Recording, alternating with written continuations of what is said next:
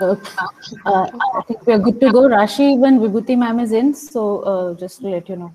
All okay. right, thanks. Yeah. Okay. A very good morning to one and all present here. And thank you for finding time and joining us for our Architecture Design Lecture Series, a Studio Discourse 2021. My name is Rashi Chawla, and I'm a second year student of the architectural program at Sushant School of Art and Architecture. First, I would like to start with giving you all a brief introduction about our architectural design studio. In January 2020, we as first year students visited Sri Lanka as a part of our off-campus independent study trip. We visited Puranagama and Anuradhapura, Sigiriya Fort, ancient city of Polonnaruwa, the, uh, the Tooth Temple in Kandy, and Geoffrey Bawa House number 11 in Colombo. After the pandemic, we still have blood memories of the places and people of Sri Lanka. Our design brief is linked to the OCIS as the various towns and settlements offer studies into settlement patterns, social environments, historicity, materiality, and its related visual expressions in architecture. The basic premise of the second year, fourth semester design studio situated in Colombo is that of the emergence of the nation along with the related perceptions of time, people, and place. I would like to take this opportunity to welcome my fellow colleagues of second year at Sushant School of Art and Architecture, respected faculty, our studio directors, Professor Amrita Madan, the studio direct, uh, the studio coordinator, Srikini Hazra, and the and our uh, respected dean, Vibhuti Saj, Dr. Vibhuti Sachdev. She is the dean at uh, Sushant School of Art and Architecture and director of Architecture, Planning and Design Schools, Sushant University. She is qualified as an architect in 1989 from SP Delhi, completed her PhD in 1996 from University of London, and has worked as a conservative consultant, writer, and designer. She has taught at the University of Sussex and written four books and several articles on subjects of Jaipur, traditional knowledge systems, Indian cities, and Indian modernities. She has worked and written extensively on the city of Jaipur, focusing on its planning, architecture, and craft traditions. Since publishing these books, Dr. Sachdev has been a consultant on the restoration of the Jal Mahal in Jaipur, was the design curator of the artwork of its pavilions, and the co-curator of the exhibition Painted Pleasures. Her latest book is on the Festival of Festivals at the Jaipur Court. I welcome you, ma'am. Now, it's great pleasure for me to welcome our guest speaker for the session, Dr. D.P. Chandrasekaran and architect Chintaka Vikramage. So, without any further ado, I would like to introduce our first speaker, Dr. D.P. Chandrasekara. He is the Dean, Faculty of Architecture, University of Moratuwa, Sri Lanka. He has his bachelor's and master's degree in architecture from University of Moratuwa and PhD from University of Colombo. In addition, he has obtained PG Diploma Heritage Management from IHS Rotterdam. He is a chartered architect his, his research interests include social implications in architecture, heritage, management, and vernacular architectural traditions. He has published peer-reviewed journal articles and authored several books, including Heritage Buildings of Sri Lanka, Fortifications along the Kelani River, and the Tampita Viharas of Sri Lanka, Elevated Image Houses in the Buddhist Image Houses. I welcome you, sir. I will turn over to Dr. D.P. Chandrasekara to share a few words of wisdom and bring to us wealth of information from academia and research at FARU.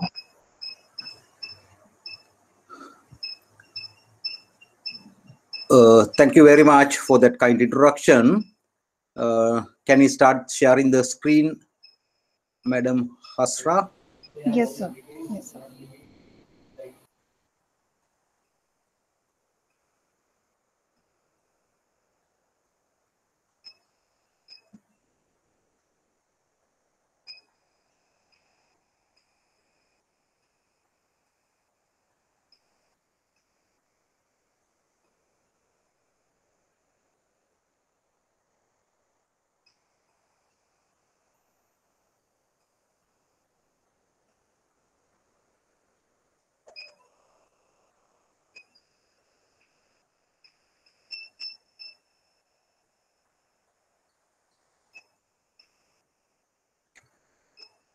Okay, okay. Yeah, um, I'm uh, D.P. Chandrasekara. Uh, I'm the, currently the Dean of the Faculty of Art, uh, and my research interesting and the teaching includes teaching history of Sri Lankan architecture and social implications in architecture, in addition to uh, the involvements in dissertation and um, the design works. Uh, I have a little bit of experience of in India visiting several times. Uh, and my last visit was in 2017, where I was at NIT Raipur teaching for about three weeks under GIAN program um, of the central government of India. And when I come to India, I feel very ease and home because we share similar type of cultures and uh, the people, the way of behavior. So it's very uh, friendly and a homely situation. Now, what I'm going to talk today is about Sri Lankan vernacular architecture because uh, I was communicated or told that you are going to work some projects in Sri Lanka and your concerns are about the place, identity, people, and uh, the context. Uh, so I thought this vernacular architecture is the best uh, in that to uh, to uh, for this kind of a project. I will I will tell why. Uh, um, and I I'm very happy to understand that you have been to Anuradhapura, Sigiriya, Polonnaruwa, Kandy, and Geoffrey Bawa House in Colombo. Uh, first, I will try to, uh, in my presentation, what I am going to do is I will talk a little bit about Anuradhapura, the, the periodization of Sri Lankan history, then uh, the Anuradhapura and Polonnaruwa. Basically, that's grand architecture, uh, which might not represent the people and the processes to a great extent. They might be isolated examples. Uh, and then uh, come to the Kandy and the Gampola periods, where bulk of our vernacular architecture examples um, are, come from.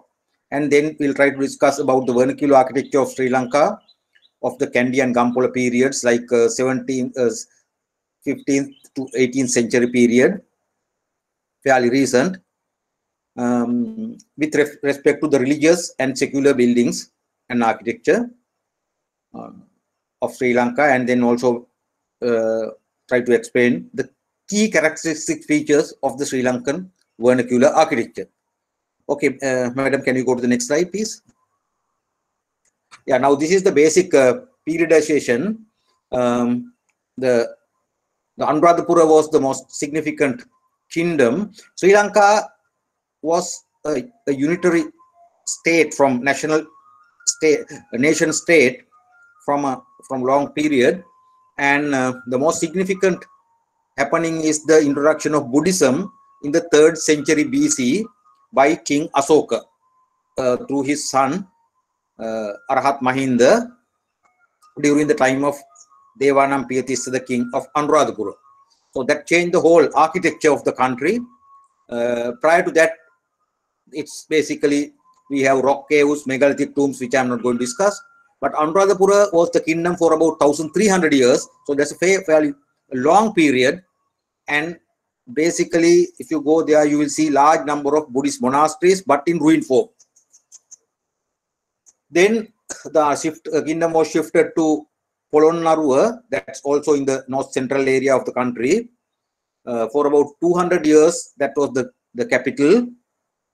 Then uh, from 12th to 16th century, the kingdom shifted from different places. It was not a very stable period. The uh, Dambadeniya, Yapahuwa further south, and Kurunegala, Kotte, uh, and I'm not going to show any buildings of these periods because the, the kingdoms didn't last long and uh, in certain situations they are not explored adequately and uh, during the post-independence period the ruins have been uh, destroyed also during the colonial period then we come to fairly important period which is called Gampola and Kandy. That's the again the kingdoms. By that time uh, the kingdoms were not very strong. Uh, but for 14th to 19th century we have the Gampola and Kandy. Uh, Gampola is close to Kandy. Uh, it was a kingdom for a short period. So during this 400 year period, we had very interesting Buddhist and Hindu combined shrines, then palaces, dwelling units, wayside resting places, etc. Uh, then uh, simultaneously, or this, at the same time, we had the uh, the maritime regions uh, occupied by the colonial powers, Western colonial powers, Portuguese from about 1050 to 2658, then the Dutch uh, from 1658 to 1796. The British uh, they, they came in 1796 but captured the whole island in 1815 till 1948. Then the after that the post independence period. So we have some similarities during colonial period as well. I think with India, I'm not going to discuss about the colonial architecture nor the independence period architecture. Uh, but uh, basically, I'm concentrating on this 14th to 19th century period, the vernacular architecture. But before that, I will discuss slightly about Anuradhapura and Polonnaruwa period architecture. Uh, next slide, madam. Now, this is the, the geographical location.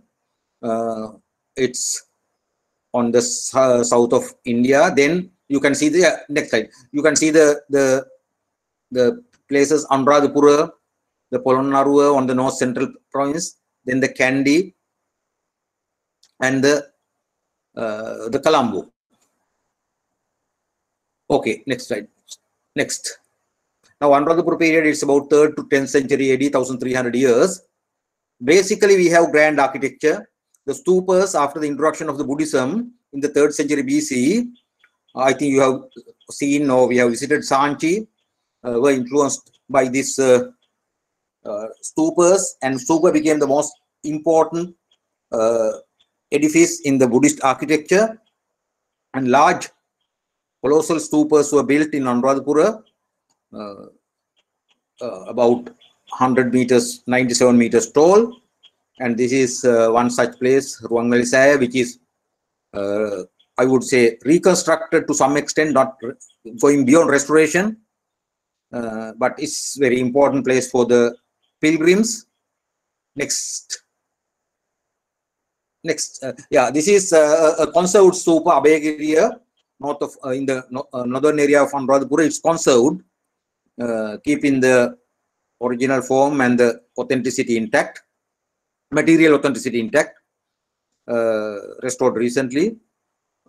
So Abhayagiriya, then next one is Jethavana, I suppose. Next slide. Yeah, this is, uh, this is a monastery. So the monasteries were like universities where large number of monks lived and they often had lot of interaction with Indian monasteries like Nalanda or the from Bharata, the Takshila, uh, and then even from China, uh, monks like Fa Fahian visited um, Sri Lanka and wrote very descriptive, uh, gave very elaborate description about the about the his stay.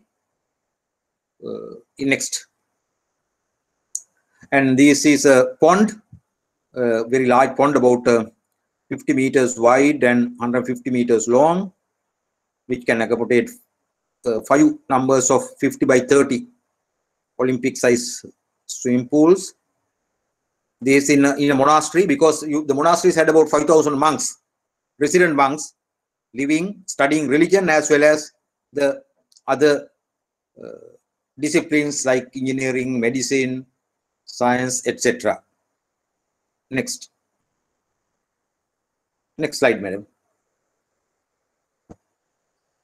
Yeah, this is a fairly intricate uh, pond, which is called Twin Pond. Maybe you have visited, so I'm not going to discuss. Next.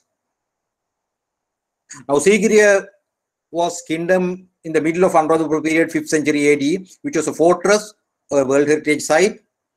Uh, I will just run through because we have been there. Next. It's very geometrical, uh, symmetrical, but also it has very organic characters where if there's a rock, it takes the shape of the rock, but the geometry has been maintained, uh, which has also paintings, the 5th century AD. Next. Yeah. Next slide. Now we come to Polonnaruwa period. Again, we have grand architecture, uh, royal architecture. Uh, basically, during Polonnaruwa period, there were interactions with the South India, both in terms of invasions as well as in terms of uh, marriage alliances. Next. Now, this is a uh, which we call uh, enclosed Buddhist stupa house. You have the stupa pilgrims can go in. It had a circular roof. On the background, you will see a brick masonry image house uh, with some kind of South Indian uh, influence in architecture because during Polonnaruwa period, they had a lot of uh, interactions. Uh, they had invasions as well as during that period, as you know, South India had several kingdoms and um, the kings married from the from South India. Uh, I'm not sure whether maybe the princess came from South India very beautiful like us, but the main reason was not that uh, because when there is invasions and if you have an alliance with another king in South India, when there's an invasion from South India, you can ask for help either from your brother-in-law, who is the king of another South Indian kingdom, or from your father-in-law, who is your the father of the one of the queens. And the king had the liberty to marry several queens. So probably it was in a way a political strategy as well. So with the South Indian queens, uh, their relatives came and they settled down and probably the architecture also had this influence from South India. In addition to that, we had some uh, Hindu shrines next in Polonnaruwa. Now, this is an overall picture of this uh, place. You can see the circular stupa house and the other buildings. Uh, and now this is a, a Shiva shrine, Devala or shrine. Uh, as I told you, because of the the, uh, the connections with South India, uh, probably there could have been a lot of people living in the kingdom with origins of South India and for their religious worship and rituals. Uh, these Shiva Devalas or the Shiva shrines would have constructed. We have about seven of them in Polonnaruwa uh, kingdom. Anuradhapura did not have this feature. It was basically at Polonnaruwa, you have this uh, Hindu shrines uh, living next to the Buddhist shrines. Next. Now we come to the important part. Gampola and Kandy period is from 14th to 18th century. And interestingly, the last four kings came from South India again. Uh, the last uh, Sinhala king married uh, the, the main queen was from South India. Uh, and they didn't have children, though he had children from other queens. So when he died, uh, the queen's brother came and became the king. Uh, like that, there were three other kings and who, who also embraced Buddhism. Uh, and uh, until the British captured the last king, even the last king came from South India or a descendant from the South Indian uh, okay, now this is the picture of the city where you will again see the grand architecture designed by the trained people, royal patronage, and uh, is the tooth relic sign. Uh, okay, next. A closer view of the tooth relic sign, which was developed over long period. Now, this is again a, a, a image house uh, about 10 kilometers south of Kandy. Uh, originally, it had a masonry roofs like in Polonnaruwa, but Kandy has a very uh, it's, it's in the wet zone of the country. So the masonry roofs could not withstand the frequent rains and roofs were added later, about 150 years later. Uh, but again belongs to the grand architectural tradition. Next. Now we come to the vernacular architecture of Kandy period. Uh, Kandy and Gampola because we cannot separate some of the buildings were started in. Now I think the best definition of the vernacular architecture comes from Bruce Allsopp hmm, in his towards human architecture, uh, the book. Hmm? Uh, it says vernacular architecture is a generalized way of design derived from folk architecture. Now, folk architecture is the architecture of normal people. Uh, when you have a mud house, it belongs to folk, the folk tradition. It may be seen as the development of the natural architecture of a region, which is definable in terms of climate, culture, and materials. So, the vernacular architecture respond to the climatic conditions, the culture, and the material. Uh, the vernacular architecture probably is the best representation of people, processes, context of a country or a region. Even Sri Lanka is, uh, is a small country, smaller than most of your states. uh, having about 20 million population, only uh, 22 to be exact. So, uh, but even in the country, you have different types of buildings, architecture uh, in different regions, different areas, representing the, the difference of climate to a certain extent. Climate is not drastically different. Maybe there are there are variations. We have a dry area and a wet area, uh, but the culture of the people differs from area to area, from province to province. Uh, then also the availability of materials, and I will try to show you the different types of house forms, uh, again belonging to folk architecture. So for Bruce Allsopp vernacular architecture is the is a developed version, is an advanced version of the of folk architecture, but it also had uh, influences from the grand tradition. So the if you have a mud house in the village, it is the it is it represents the folk architecture. Uh, if you have the tooth relic when you when you see the tooth relic building in Kandy, it represents the grand architecture. But when the when they construct a, a temple, a image house, uh, or an elite house for an elite or provincial ruler, that will become the vernacular architecture of vernacular tradition because that is a developed version of the folk architecture. Sometimes it tries to borrow uh, concepts, uh, material usage of use of materials, uh, forms, etc., from the grand architecture as well. But it's, it's, it's very closely related to folk architecture. It's a developed version of folk architecture. Uh, you don't have specific designers like in grand architecture but it is very, very strongly related to the way of living of people as well as climate because vernacular architecture evolves over time. So people try to use the same type of buildings and if they does not fit, they make more minor modifications. So over time, you will see uh, perfect fits as uh, uh, Bruce, uh, sorry, Amos Rapoport explains in his house form and culture, uh, where the, the, the evolution of the architecture over time gives the perfect fits uh, or perfect solutions for the environmental problems of the people.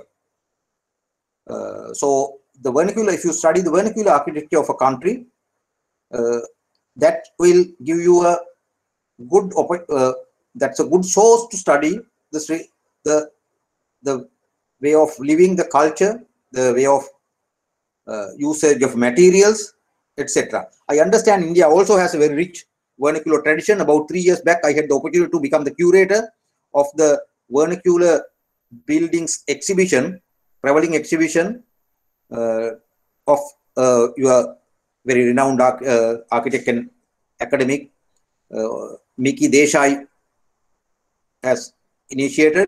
He came to Sri Lanka with his uh, India Sri Lanka Foundation helped us to do the, this exhibition.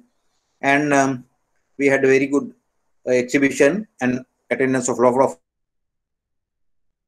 people city of this uh, Indian vernacular architecture. Uh, the exhibition uh, star, uh, of the of the architect Miki Desai of Ahmedabad. So now I am going to talk about the vernacular architecture of Sri Lanka. Next slide, madam. Yeah, uh, under vernacular architecture, I'm going to talk about the religious vernacular architecture and the secular vernacular architecture. The religious vernacular architecture, we have lots of examples. And under secular vernacular architecture, we have few examples uh, belonging to Kandy and Gampola periods. Uh, they are located not in Kandy, not in Kandy, in the uh, outside Kandy, in the rural areas or in the small towns, but under the jurisdiction of the Kandyan kingdom.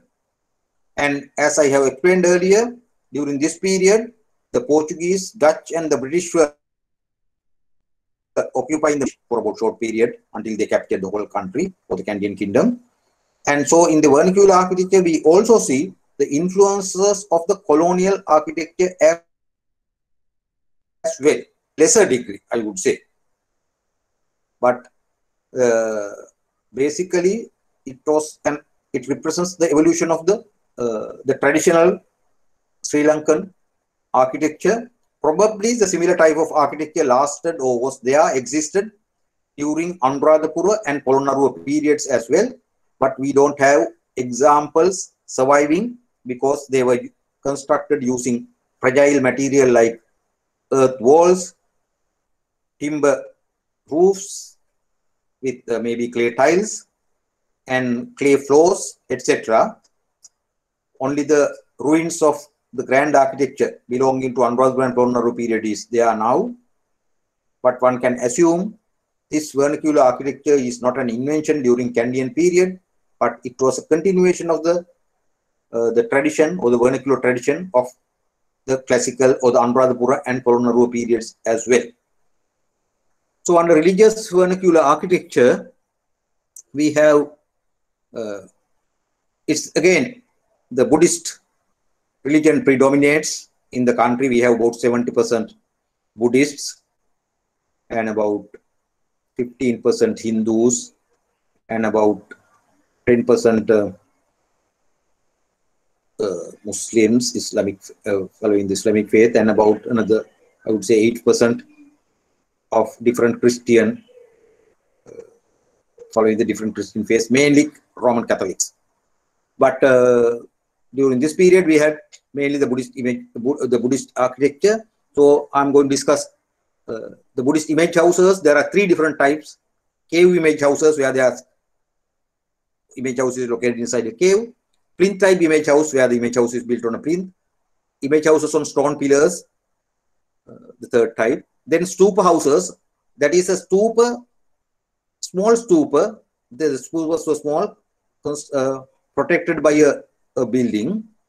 Monk residences, Buddhist monks residences, a typical type where you can see similar examples in different places. Uh, preaching halls where the lay people will go and listen to a sermon by the Buddhist monk. Lastly, fairly interesting uh, building type, which is a, mixed Buddhist and Hindu shrines. Because again, during this time, there are a lot of interactions with uh, the Hinduism and uh, some of these shrines coexist in the same site, uh, a Buddhist and a Hindu, Buddhist image house and a Hindu shrine. So I'm going to discuss these uh, five types under religious vernacular architecture. Under secular vernacular architecture, uh, the wayside resting places and grain storage structures and the residential buildings. Madam. Now these are uh, image houses, cave image houses. Basically what they do is they uh, select a site with a cave and cut inside. I think you have been to places like Ajanta, Ellora. But at the veranda with tile roofs, either a lean roof or a, a, hip roof with three sides hip. Uh, and you cut a drip ledge on the on the cave, on the uh, rock to prevent the rainwater coming inside. And uh, in the cave, you plaster and paint the walls or the ceiling where you cannot have a very clear demarcation between the ceiling and the wall and also have images. Basically the main image is of lord buddha in the reclining posture because you you don't have a good height. Next slide. Now this is another cave image house. Uh, so the, the the front portion with the tile roofs. The tiles are clay tiles, flat clay tiles. We in Sri Lanka we have three types of tiles. Uh, at the in the rock you will see a clay tile which is called flat flat clay tile, which is a traditional Sri Lankan tile, which now is used only for religious buildings. The second one is half round tiles. Half round tiles, which was introduced by the Portuguese, though we call it local tile. The third tile is Calicut tile because the British imported these tiles from Calicut of, uh, I think, uh, Karnataka or, yes, uh, from Bangalore. So we call it basically Calicut tiles. Uh, the third type, which is the, which was introduced to Sri Lanka by the British. So this is another uh, uh, uh, cave type image house. When you go in, you will have the image uh, uh, and the painted walls. Next, please. Now, this is a section where you have a reclining Buddha at the main statue, but you will also have a, a image in the seated posture, but small because of the restrictions inside. Uh, now, this, the all the measure drawings that I am showing are done by the students of architecture during their first year at uh, the university because we have a measure drawing project and generally they measure vernacular buildings of the country going to different places and we have tried to uh, publish them in the book formats. Next please. Again a cave image house is a measure drawing. Uh, always it had a front veranda. Now this is a plinth type image house. You can see a about uh, 600 millimeter plinth raised plinth from the surrounding ground level. And at the rear you have the main shrine and in the front you have a mandapa or a pavilion where the rituals like drumming etc will happen. Uh, and the rear building has a double slope. The main area is has a steep slope and the veranda has a lesser slope uh, basically highlighting the main shrine of the inner sanctum. And uh, they're small in scale um, but they were set in very nice sites locations uh, and uh, always had a intermediate space around. The walls didn't come up to the edge. You had a veranda or a walkway columns uh, etc in the in the in the periphery. Next slide please another image house uh, of the plinth type the plinth is raised so that the dampness did not come into the building because the walls were painted inner walls were painted uh, depicting basically the reincarnations of the previous births of lord buddha uh, basically for the pilgrims to understand and worship. But main again, the main feature is the is, the, is a statue uh, in the seated posture. Next slide. Yeah, you will see the another plinth type image house. Two guard two guardian deities at the entrance and the main door to go in. Again raised, prevent the dampness coming in because with the dampness you get the efflorescences and the subflorescence coming and damaging the paintings. The paintings were done using the local pigments. Next slide. Now, this is an very interesting building type. This is the third uh, type of image house. Now, it's similar to the plinth type image house, but the difference is instead of a plinth, the building is constructed on stone pillars. Uh, the stone pillars, the height of the stone pillars vary from 600 millimeters to about 2700 millimeters. The if it is 600 millimeters, the space below is not used for any function, just kept as a void.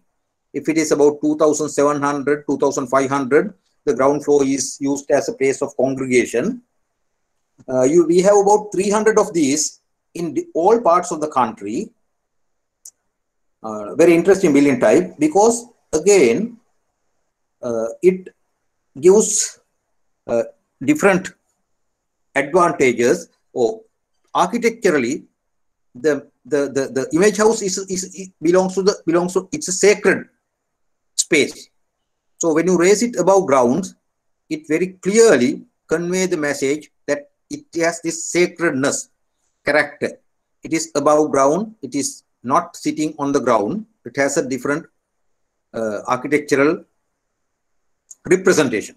But in terms of function, it also serves the stone pillars prevent the dampness coming from the ground into the mud walls because the walls are mud and the beams are timber and the floor is timber, columns are timber, roof members structure is timber. So it prevents the uh, the dampness coming from the ground during rainy period to the building. It also prevents the termites and the insects coming into the building from the ground. Because if you see the insects coming in a line, uh, you can very clearly identify it because it's in the stone pillar and remove it. Generally, the insects will not go up in these stones. Uh, the plan again, you will have a, a or a wide space like a veranda or a corridor in the on the periphery, and the, in the inner side you have this uh, shrine. The shrines are slightly smaller than the plinth type image houses, but the plan form might be the same. Sometimes a building will have a front pavilion, which is not of the uh, not on stone pillars. It might be on uh, a plinth, but sometimes the building will be there without uh, without a, a, pavilion. Okay, next. Now this is probably the largest uh, image house on stone pillars in the north central province. The ground floor is used as a congregation space. You have two stair, uh, flight of steps fairly steep to climb. Uh, again, you will see the roof form, which is double sloping, highlighting the significance of the inner sanctum. But this roof was used only for the sacred buildings, not for not for the uh, secular buildings. So in the same site, you might have a monk's residence, which has a single pitch. Next slide. Now again, uh, image, uh, image house, fairly rudimental. Uh, but instead of a instead of a walkway, it has a wall around. So it has double walls actually. You have the inner sanctum. You have a, instead of a columns, you have the outer sanctum. Basically, this is as you see, it's located in a rocky site, and in this area, the reflected heat will come into the building onto the walls, inner sanctum, and it might uh, damage the paintings in long run. So instead of the walkway, you have a second wall on the periphery, which is a fairly unique type found in certain uh, parts of the uh, country where you have dry climate and rocky areas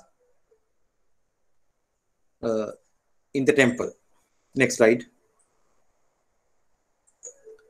Yeah, same side, uh, you can see the double walls. Instead of the walkway, you have this double walls. And in the picture, you can see the main image, image, uh, main image and the uh, other images on the side.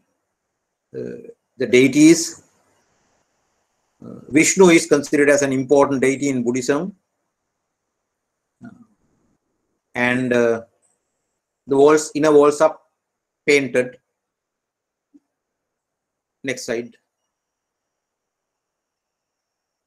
Now, this is a very interesting building, though it's not in very good uh, conserved form. Uh, uh, it's between like Colombo and Anuradhapura. In the, uh, it has a lower level roof protecting the timber members uh, getting the wind uh, rain with the wind and uh, uh, the angular timber supports representing a typical vernacular architecture uh, influenced from the folk tradition. Uh, on the background, you will see a small, fairly large reservoir at upper level constructed for paddy fields. You will not see the, you will see only the bund uh, on the background uh, in a very nice location, though it's not well protected, uh, conserved. One of the best examples of the Sri Lankan vernacular architecture, uh, showing the response to climate, because in Sri Lanka we have monsoon rain, not coming in vertical direction, but also 45 degrees or even 60 degrees angle.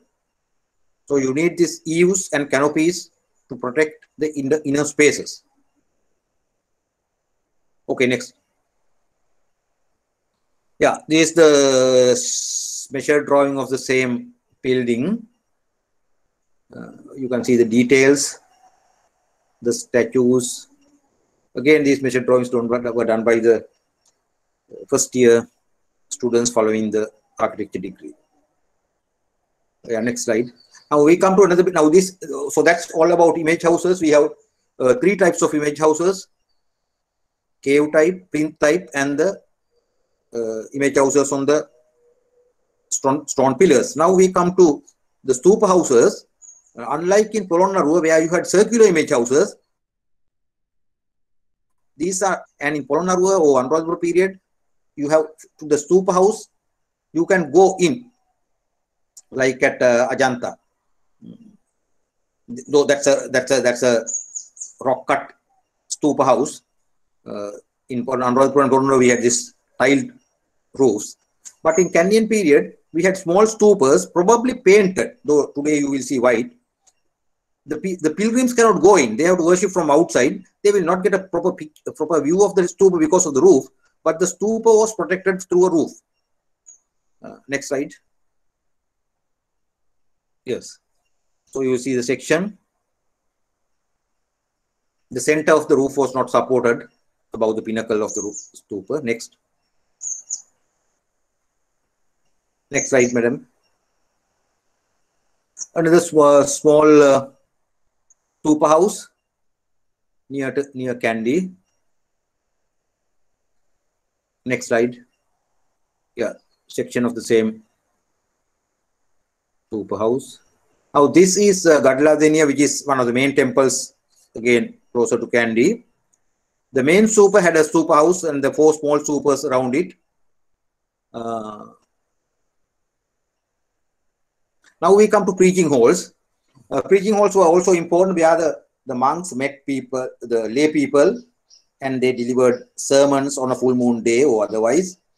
That is the place where the, it was also a community gathering place. Uh, things related to religion or otherwise happen. So you will see the section, one of the largest uh, preaching halls in the country at Padeniya. Next. Now we come to monk residences. Uh, we had also typical type of plan where the the monks had their uh, sleeping quarters, a veranda where the monks met the lay people, but inside the sleeping quarters were located around a central court. Uh, because in Kandy you have high level of dampness, but also that central courtyard gave privacy. So the, sleeping quarters had only a door open to the court with a walkway around it, not windows outside, so they had privacy. Next.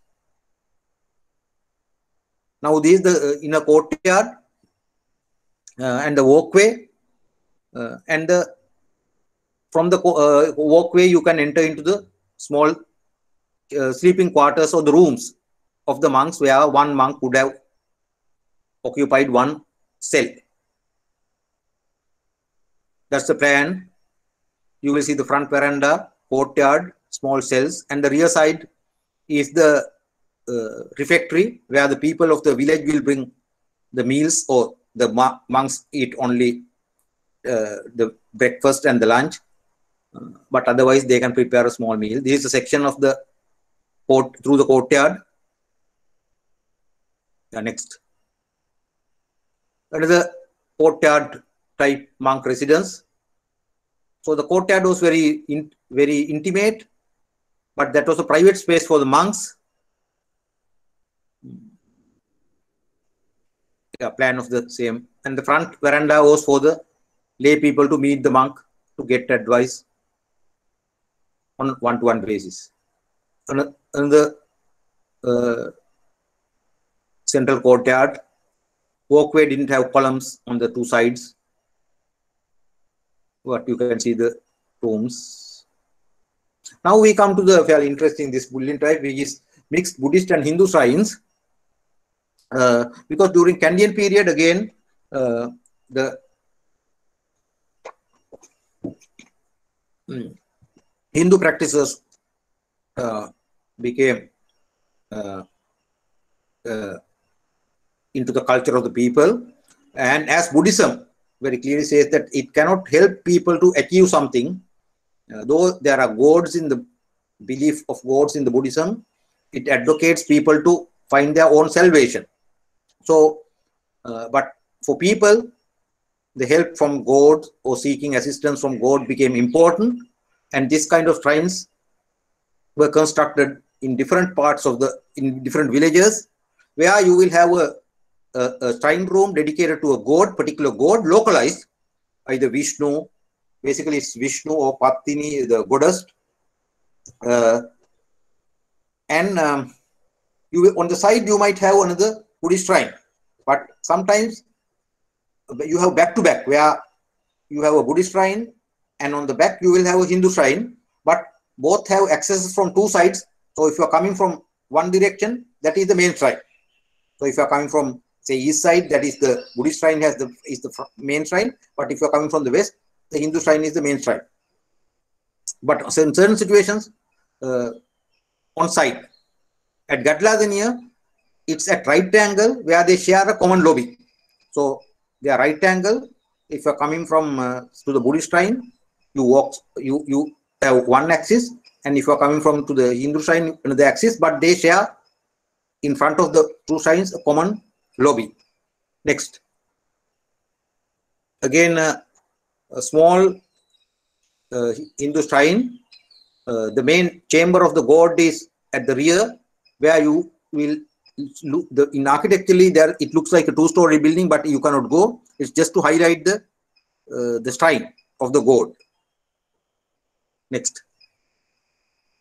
Now this is the first, probably the most uh, important shrine in terms of architecture, Embekka, which has not very nice uh, wood carvings. Uh, so you have the front open pavilion, several chambers uh, before going into the last inner chamber, where you will see again a two-storied area with a roof, but which is not accessible. It's not two-storied really. Again, just highlighting the important space. Next.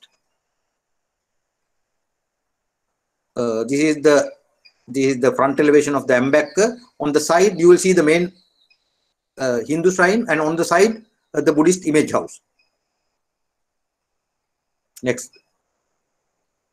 Now, this is the long elevation of the Embekka. Now we come to uh, the secular architecture and uh, uh, one of the very important building types of the secular architecture is the wayside resting places. Uh, because people walk on foot and at different places they constructed structures for travelers to rest. Generally near a stream facing a paddy field so people walking can rest, stay overnight. It had uh, a water pot uh, maintained by the people in the village and sometimes cooking utensils so people, travelers will bring dry ration and cook and stay overnight and then start their journey. It was also used as a community gathering place of the people of the in the village. Also a resting place for the farmers. Also, when the government officers, if they come from the kingdom or from a provincial ruler, a place where they collected tax. Also, a space where they had uh, the activities connected to law and order, like hearing a case uh, uh, like a courthouse. Okay, this is uh, sitting on uh, boulders, like in this, the the image houses, not on stone pillars but on stone boulders, uh, but timber structure and uh, timber beams, timber roof. So this is the section, very intricate and very uh, nicely done. It's just an open pavilion. This is uh, another wayside resting place uh, done. It's a plinth type. On a plinth where you have inner space, you can see some people uh, near Kandy again. Yeah, next section of the same resting place. Now this is uh, so after resting places, we come to grain storage structures because for people, the food security was important and for them, paddy was the main staple food. And uh, sometimes the paddy was cultivated once a year, sometimes twice a year, depending on the availability of the water. and they store paddy in a storage structure and your your your wealth was shown not by your house or by other things but by the number of grain storage structures that, that you own. Uh, so this is one such example. Again raised from the ground to prevent dampness and the insects coming in. Walls were out of mud. Roof straw. And you can uh, store a large quantity of uh, grain paddy here and sometimes if you uh, have the correct variety you can store it for about three years without any problem and one would say there's very uh, connection between this kind of this probably belongs to folk architecture too uh, the Tampita the image houses on stone pillars and the ambalamas had an influence from this kind of folk architecture. Next. Now this is again a grain storage structure at the Devala, because in Devala or the, the sorry, the Hindu uh, Buddhist shrines, when they go, they what they offered is not money. They took grains and offered it to the the shrine. So the grains were stored, and these were stored houses where you have a roof and large chambers to store, and you put the grain from top, but you can uh, get it out from bottom. Uh, this at the one of the Hindu Buddhist shrines. Another grain storage structure, similar type, on stone pillars, clay walls, timber roof, clay tile timber roof. Next. Now these are the different grain storage structures. On top you have these bisters or the uh, more uh, folk tradition buildings and on the bottom on the right side you will see this uh, the atuas or the, the structures with tile roofs. So there are different types for different types of uh, grains and for different uh, periods. For a short period, you will have a very temporary grain storage structure. But all of them are raised from the ground so that termites, dampness did not come. Next.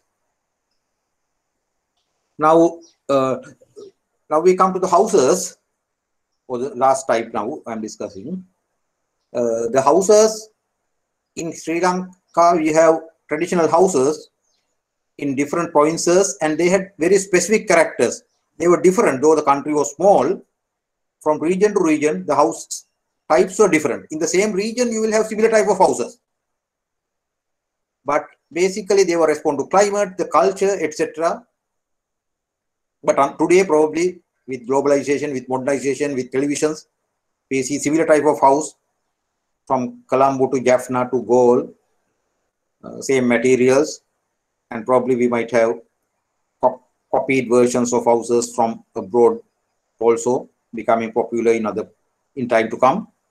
But uh, during Kandyan period and during this, this tradition continued even during British period, uh, the different geographical areas, pointers had different types of houses. Now these a traditional Kandyan farmer's house, central court in the middle, and few rooms, and again a grain storage structure in the main space, the kitchen, rooms for females to sleep and to keep valuables, didn't have windows, the central courtyard was the main uh, source for ventilation and lighting. Maybe had one door or two doors. So that's in the Kandyan or the central part of the country where the dampness, heavy rain was there. Next. Now this is in the north central province that is in Anuradhapura area where you have a long house with a front veranda but in the front in the front compound you will have the grain storage structures. Uh, it's basically clay walls and the straw thatched roofs and to go to one room to other you have to come out to the veranda security was not a problem but what you have is these houses sharing a common compound so several houses maybe 10 houses sharing a common compound which is called a Puranagama or the traditional village. This is from Jaffna where predominantly the Tamils live. Uh, you have a big compound and in the compound you have several units. Main house ancillary houses, outhouses, kitchen, uh, how, uh, uh, uh, a building for the cows and the cattle or the cattle shed. Uh, but the boundary is protected by a, a, a, a, a type of a not coconut, uh, the that uh, fence. Okay, next. Uh, this is again a central province what I discussed earlier. It's, it's it, it has a veranda slightly different to the central courtyard. Uh, a surviving example of a house in the Kandyan province. This is in the southern province. You can see the British and the Dutch influences. Uh, basically, Dutch influences. Front veranda, half round tiles. Again, a surviving example. Next. Northern province, you can see a courtyard, uh, front veranda and a courtyard in Jaffna, a traditional house.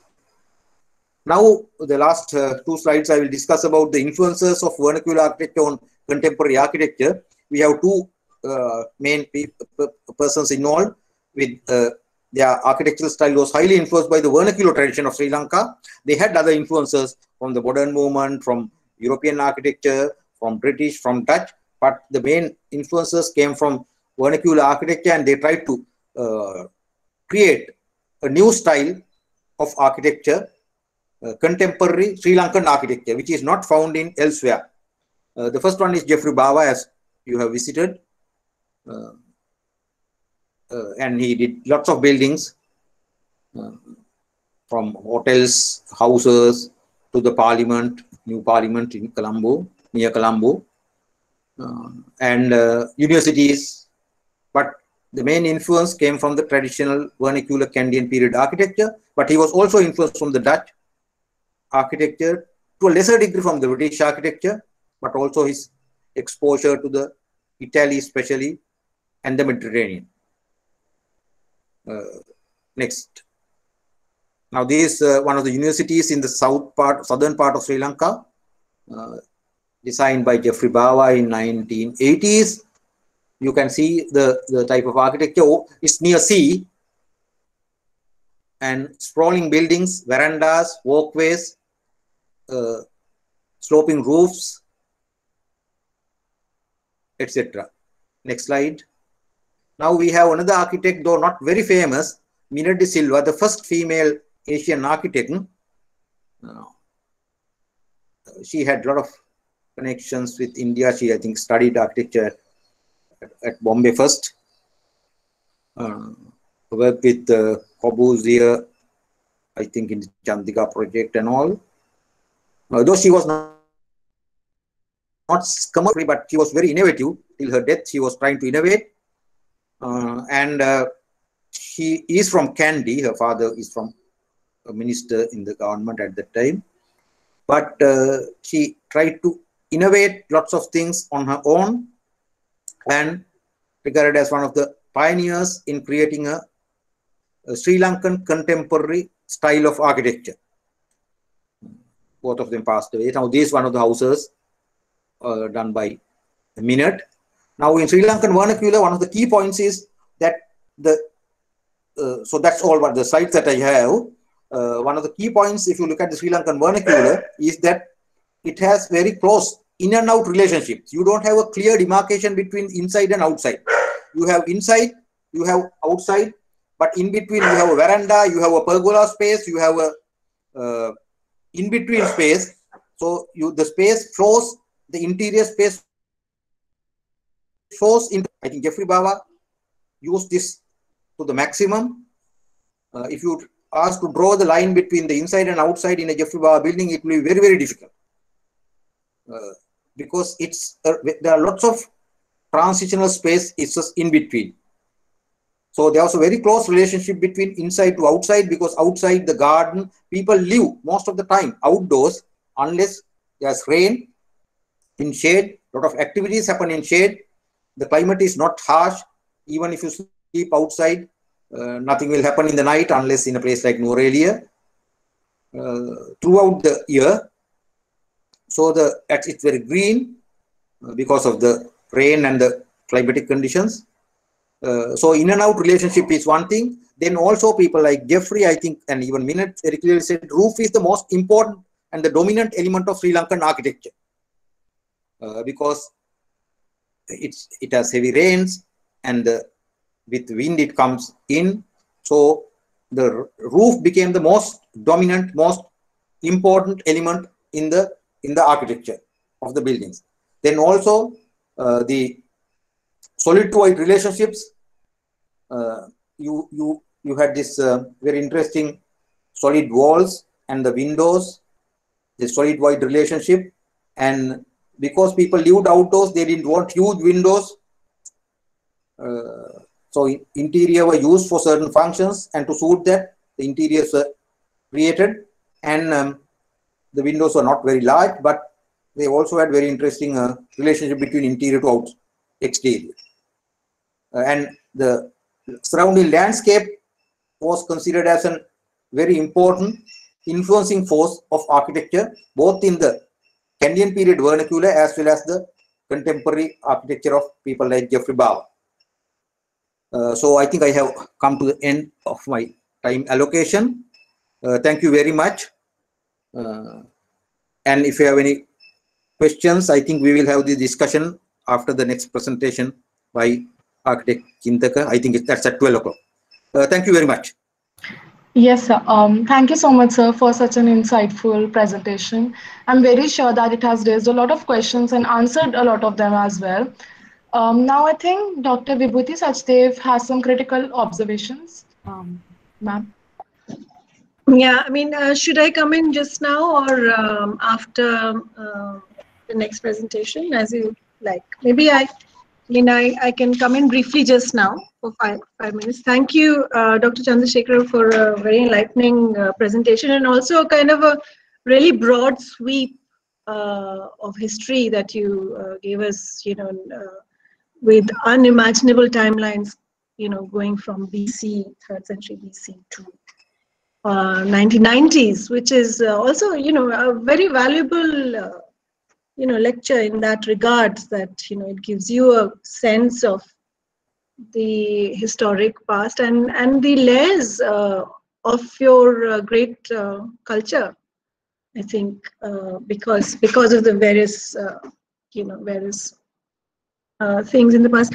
Um, what your presentation also highlights and this is mainly for the students so allow me to kind of engage in your presentation as a way of alerting them to certain aspects of uh, continuity and traditions.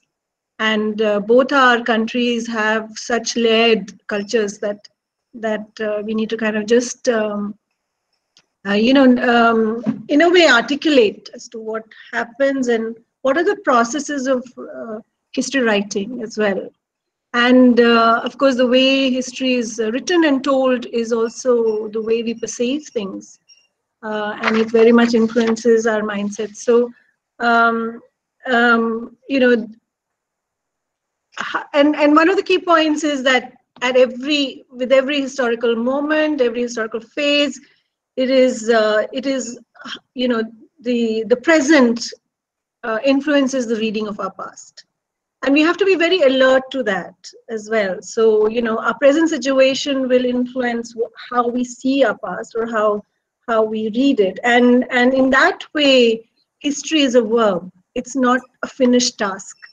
Of course the job of the historian is to weave those facts in order to tell a story convincingly and um, you know each each phase of history in a way tells its own story and uh, so there are many histories of our past rather than one history, and which um, Dr. Chandrasekara has also demonstrated that there are various phases that, that although uh, seem uh, to be working in silos, of course, there is it is interlinked, you know, really, really closely. Um, the other thing that I wanted to say, so each, each, you know, each um, regime, each political domain, each you know wave of politics. For for example, uh, uh, you know, let's say nationalism, which is closest to our timeline. Um, and uh, we went through, you know, 1840s to 1950s, a wave of nationalism in our country, where we, uh, and you know that, you know, Indian nationalism also was a way of finding our civilization, was way of finding who we are as a nation. So in a way, you know, um, there was this kind of um, emphasis on focusing on things that unite us as a body of people rather than divide us. So the Indian nationalists, especially in visual arts uh, and architecture, as well, uh, you know, famously Abanindranath Tagore's paintings, if you see, were very much influenced by Chughtai, who was influenced by the Japanese aesthetics. And also, it was very, we were very influenced by the Buddhist uh, philosophy because it kind of leaps over, you know, the the British period and the Mughal period and the you know and and goes into this very far remote phase which we can hardly touch. So it is a very you know safe methodology of kind of you know going so far back allows you to imagine um, you know uh, wonderful futures because you don't have to get into the daily grind of that past because it's so far removed. And it is you know it is a very interesting and therefore very important exercise. So appropriation of the past and you will see uh, to this you know but so you know look at how the stupa you know uh, then becomes a symbol for for our institutions. And this is how you know buddhist nationalism also shaped us. Uh, Indian nationalism, you know, rooted in Buddhism shaped us. Because if you see, um, you know, the Viceroy's house, for example, that Lutyens designed, you know, the dome is a stupa, is the Sanchi stupa. And, and then, you know, the Eastern Court, Western Court also have those domes. To even Correa's building, which is in um, Bhopal, you know, uh, also has that dome. So suddenly one saw these kind of institutional buildings for them to be kind of identified as authority, they had to have this dome. So it's very Panofskian also idea of using a symbol, an icon, to kind of then project one's identity, and and this is how what what was happening in architecture, and and the and the force of, you know, the Buddhist iconography was very strong and, and still plays in our minds. Uh, so one has to be alert to these, the power of these symbols that we use in our daily uh, life and to be alert as to where it comes from and who is thrusting those you know even if we can't do anything about it it's fine it's very enriching to be alert the second thing i wanted to uh, also talk about briefly uh, is the process of architecture you see of course um, we say vernacular architecture but the moment the moment you make plan section elevation of vernacular architecture you've changed it it's no longer vernacular. It becomes modern. Because uh, when people are building those vernacular huts and you know they they they negotiate design in a codified manner.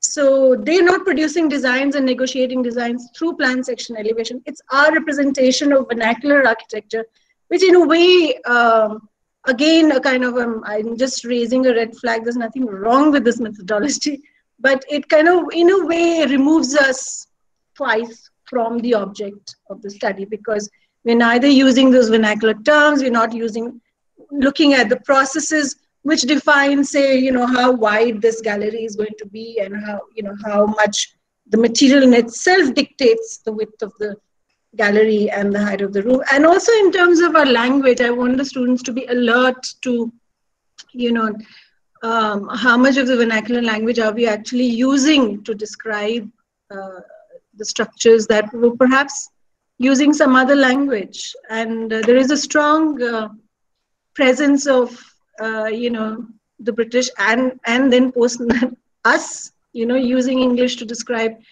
And that has limitations. We can't do anything about it. We are in an English medium university. We have to follow those structures. But it is important to be alert. And it is important to kind of then look out for resources we can tap into you know, and uh, enrich, you know, bring in the layers of complexity that that the vernacular also has to offer. The third uh, point I wanted to make is about the categorization of architecture in terms of religious, secular, you know, monumental, simple, ordinary, and you know how much of this uh, is on the basis of what survives, uh, because you know, may, you know, maybe much of the you know architecture we know that you know this this we know from reading of Arthashastra even. You know a cursory reading of Arthashastra will tell you that there, there were these fantastic wooden um, you know buildings which would have not lasted. So we just have to imagine uh, using uh, literary sources to imagine the setting of these buildings. What i'm what i'm saying is that yes, the monument survives from the past, but the context doesn't, does not mean that it didn't have a context. So, so I would urge the students to use as many sources as possible to, you know, to populate that imagined field of that, you know, building that survives from, you know, century BC and to kind of visualize because, you know, you as architects have great power of imagination and visualization so you, you should use it to its fullest and and think, you know, this building is not standalone building. It would have had communities and contexts and and it would have gone through various periods of use as well. So um, be alert to that. And um, I want to uh, finish on a, a, personal note. I'm a great fan of Geoffrey Bawa. I am not alone in this world to be so. He was my idol as a student, continues to be. And he, you know, and as Dr. Chandrasekara also mentioned, you know, he was really uh, so, uh, you know, so good at kind of um, bringing the landscape in. You know, for him, architecture was uh, about bringing the outdoors in. And that speaks a lot uh, and david robson has has a book complete works of and i'm sure there are other other people young architects who are also exploring such fine subtleties of your great culture and um, and the lush surroundings that sri lanka you know has and possesses and and the layering of such wonderful uh, De Silva, of course, also was involved in the MARG um, publication. She was very active in the progressive modern progressive group. So um, I want to end, and, and I look forward to the next presentation. Thank you very much.